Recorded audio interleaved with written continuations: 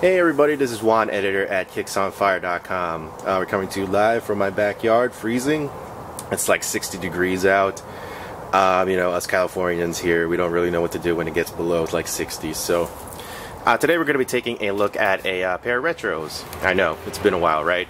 So this is the Air Jordan 5 uh, Oreo. Um, you guys call it the Oreo. Personally, it doesn't matter to me what you guys call it or not. Nicknames don't, not really a big deal. So this is actually not for me. This is actually for my nephew. Um, it's his Christmas present. I know.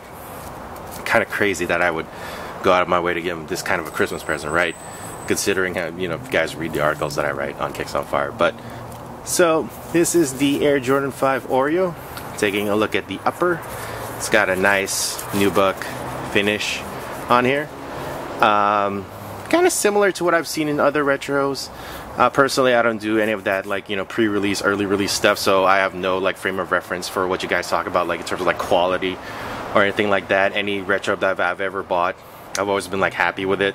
So, taking a look at the outsole over here, got your clear one, and then you got your midsole, which is like you know white. Um, some of you have actually kind of thought, you know, since it is a Black Friday release, it'd be cool if it was like all black, but hey, you know, that's something for next year. All right.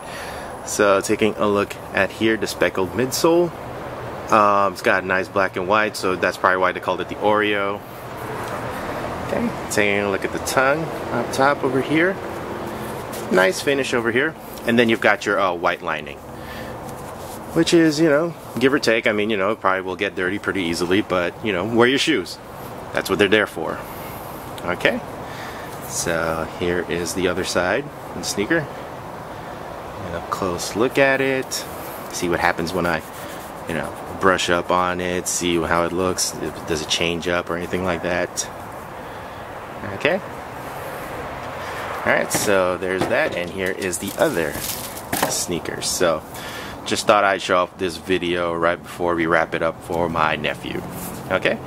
So again, this is Juan, editor at kicksonfire.com, and you just saw a Air Jordan 5 Oreo Retro.